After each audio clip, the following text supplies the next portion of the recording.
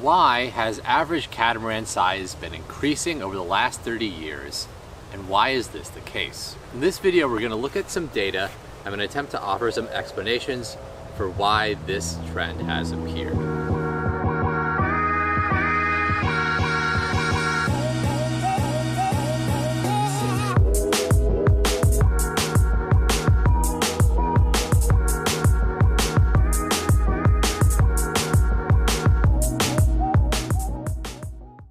But before we get to the main part of the video, I'm gonna ask that if you already haven't, please consider subscribing to the channel.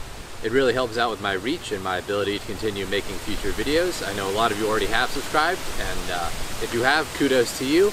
I'm glad to have your support. My impression since I started sailing seriously as well as brokering seriously more uh, recently has been that catamaran sizes have been getting larger. But I want to confirm this with some hard data to see exactly how much this trend has affected production models. Luckily, since I'm a broker, I can use the sold boats database to pretty much construct an accurate build history and model history for almost any catamaran brand as long as it's not too obscure. Uh, some of the South Africans are a little tricky. So after scraping the requisite data, I put together some charts, which I'm now going to flash on screen so you can see the model build, the largest and smallest production models for each brand of catamaran since 1990. We'll start with Lagoon, the largest builder, which has always done some things with large builds, but recently topped the charts with a 77 and ended production on the venerable 380 after nearly unbelievable two decades and over a thousand units. They also ended production on the 39, replacing it with the 40 as their smallest offering. And if a pardon some shameless self-promotion, I have one of those for sale, so drop me a line if you're looking. Next we have Fountaine Pajot, which has gone in a similar direction to Lagoon, if just a bit more dramatic, ending the Mahe 36 and expanding the top of their range up to 67 with the Victoria and Alegria series. I'd say the worst contender in this category is going to be Privilege. Uh, the last time you could order a Privilege under 45 feet was around 2008, 2009. Uh, these days they aren't even building under 51, so if you want something more affordable, then consider getting an old 583 Easy Cruise and uh, breaking out the elbow grease. The only company which has gone in the opposite direction on the high end would be Leopard. They tried a 62 back in the earlier part of the millennium, but it ended up being kind of a commercial failure with very few units built. As a result, they haven't tried anything larger, though they've had more success in terms of units built with the 58. However, their largest customer probably doesn't have much of an appetite for anything too big. And last but not least, the South African semi-customs have generally gone in the same direction as their French counterparts, with most in and around the 50 foot mark as of right now. Okay, so now that we have an overall better picture of how things have been going, why is this the case? Well, one, one explanation for Fountaine Pajot at least comes from our resident dealer in the area, Atlantic Cruising Yachts, where in an article, one of their brokers mentioned the reason for the discontinuation of the Mahe 36 was, and I quote, a practical reason relating to the laws of economics. Simply put, it cost as much to build a 36 as the new Lucia 40, which turned out to be 10 times more popular. So there you have it. Dealers would rather keep things simple and profitable in terms of lineup, and most people who are willing to shell out for a new name brand production catamaran are generally just willing to shell out for a little bit more. It's also important to not understate the importance that the charter market has on catamaran designs. Many catamarans are designed around charter. Specifically, uh, you know, larger luxury catamarans for larger charter groups have become more popular. More people are you know, doing larger charter parties and they want just nicer digs.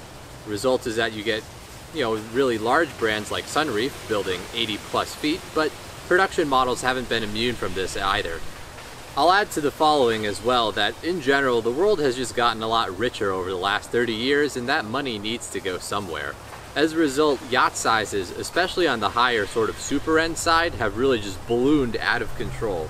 Uh, doing research for this video, I came across a neat tool courtesy of superyachts.com which allows you to see a historical ranking of the largest yachts in the world, start at around 1992 and come to today. It's pretty illuminating. I'll have a link down in the description. As a result of all of these trends, At the time of shooting this video, not a single one of the big three production builders, for the first time in history, is offering a model under 40 feet.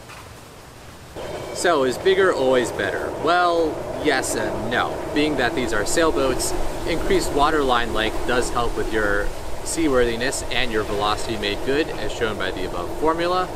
However, when you build a larger boat, things have to get a bit more complicated in order to resolve the various engineering stresses.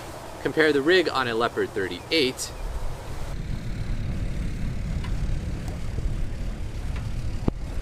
It's a single spreader rig, nice and simple.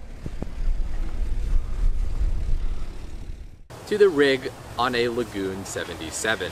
But yeah, it's uh, triple spreader, so serious business.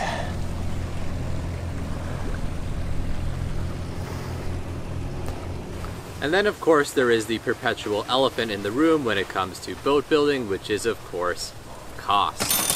Given that even production catamarans, say nothing of their more expensive semi-custom counterparts, have a reputation for being kind of expensive, this following trend has not really helped mitigate that stereotype. Though as a counterpoint, we do now have some smaller builds coming out like the Smart Cat, as well as the new Aventura line of catamarans, and I'm going to add to this the new Excess 11, which clocks in at a little over 37 feet. All of these manufacturers have stepped in, hoping to fill what they perceive as a void in the market. Will this strategy work? Only time will tell. I don't claim to be a prophet. As one boat dealer put it to me recently, business is a combination of throwing stuff at a wall, combined with your research and best guesses. So with all that said and done, what do you think about size trends with catamarans? If you want to add to the discussion, please leave a comment down below. Feel free to like the video, dislike the video, and if possible, please consider subscribing. Thank you, and I'll catch you on the next one.